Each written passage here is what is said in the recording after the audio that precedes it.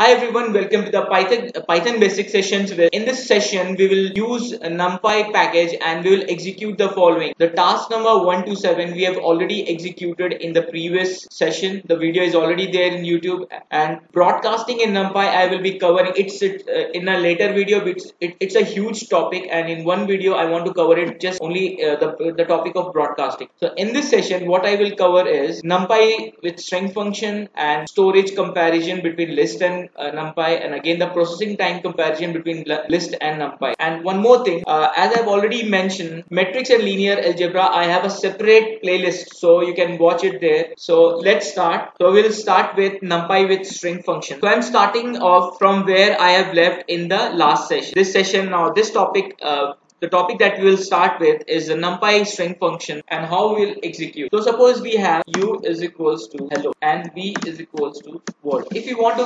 concatenate, there are several ways you can uh, uh, achieve this. But using numpy, how do we execute it? np dot dot add u comma v. Now you execute this. So this is executed, but uh, both of them there's no space. So what you can do, just give one space here, and if you execute this, so you can see the, the, the there is a space between hello and world. This is, this, this is one of the basic kind of uh, examples you can say. Then what we'll do, we'll uh, start with multiplying. Okay, print np dot char dot multiply, and what you do, you u comma 3 if you do this then uh, you will have this three times printed. Hello hello hello. After this if you want to center it I'll show you what I mean with this. Center function how to center the function. P dot char dot and then if I give u comma 10 comma so you can see the total length of this. Hello. This how many what is the length I have passed here? 10 two hashes here plus five letters of hello 5 plus 2 7 plus 3 10 so it is not like exactly in middle. So if we increase this value and now if you see so you have the hashes and like hello followed by three hashes. So this is just i the main intention is to show these are the function and we can which we can be used in the the requirement. So if you want to capitalize so it's now if we give u plus v so what it is doing it is only capitalizing the first letter of my string. If i there is something function called title. So what this will do here in this it has only the hell h of this hello is converted from small to lower uh, small to upper but w was not. So if you want to may ensure that the first letter of each word should be converted then you can if we want to use lower and upper this is converted. Now similarly if i give print this converted to upper and hello is converted to lower. This is very simple. If you want to split use a split function how to execute that. That is very simple.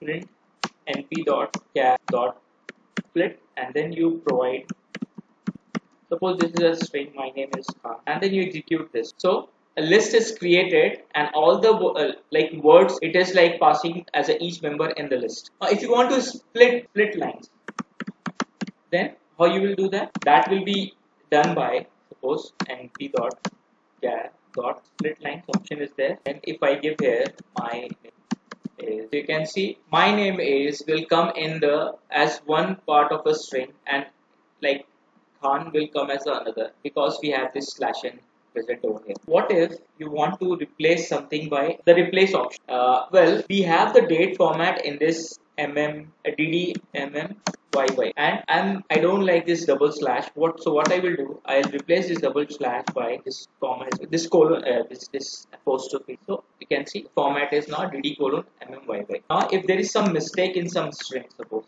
and uh, I want to rectify it so what I'll do so it's rectified correctly. Okay. Now what we'll do we'll learn about encode and decode. How I don't want uh, like you already know what is encoding and decoding so I'll just show a small examples of encoding and decoding. Code is equals to np dot char dot encode and I'll say encoding type will be is equals to cp424 now how do I know the cp424 there is a site. So we'll go to this link and if whatever kind of like whatever you want to use the codes these are the codecs these are the uh, like encoding type. So in our uh, case our encoding type is like cp424 i have simply taken it from here print code. So this output is like is not by normal human will not be able to read it. And if you want to decode this okay code is equals to np dot dot decode enc comma. You have to use the same encoding uh, technique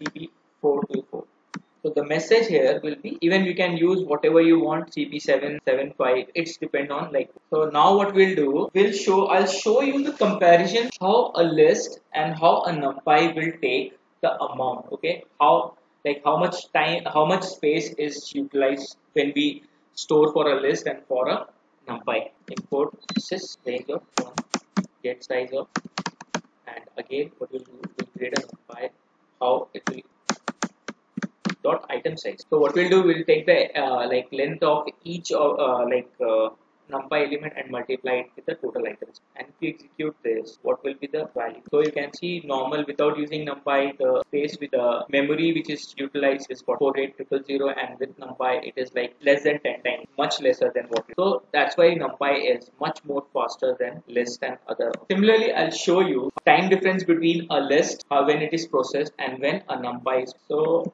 for this we will import time package and then we'll give the size as 1000 suppose 10000 okay e1 is equal to we'll take the current time time dot time okay? And we'll give x is equal to range y is equal to range. And what we'll do is z is equals we'll just do some calculation inside this. This egg we'll just add this to uh, list inside this and we for this iteration of one the 10000 so this is the current time and this was the time when before the list was executed. So we'll execute this okay? This is the time taken for list. Now uh, what we'll do now we'll execute the numpy give we'll give simply x plus y.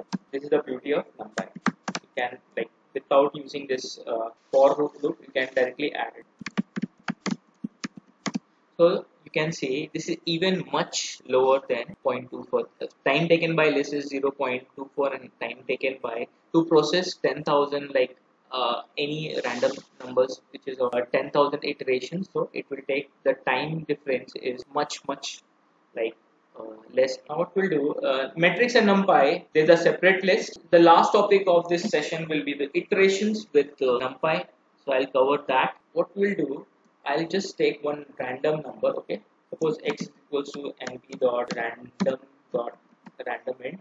And what we'll do, we'll say from 0 to 9, we'll take and it will be of the order 5 by 5 okay now if you see here x will be an array of 5 by 5 order and if you want to execute you want to execute all the elements for i in for i e dot you can say everything is listed in one. Again. The second type what I will show you suppose we have y is equals np dot array and 0 comma 100 comma 5 so what this will generate is it will generate between 0 and 100 it will generate 20 element with a distance of 5 this was a list okay? And then this is transposed uh, this will make much more sense here if I execute this.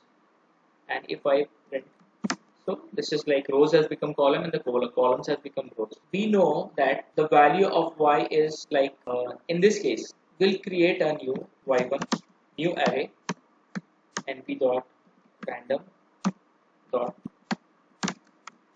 so we have a 4 by 4 matrix is created. Now I want to reshape my matrix so that a new matrix is either 2, two rows and 4 col uh, 8 columns or 8 rows and 2 columns. So how do we achieve this?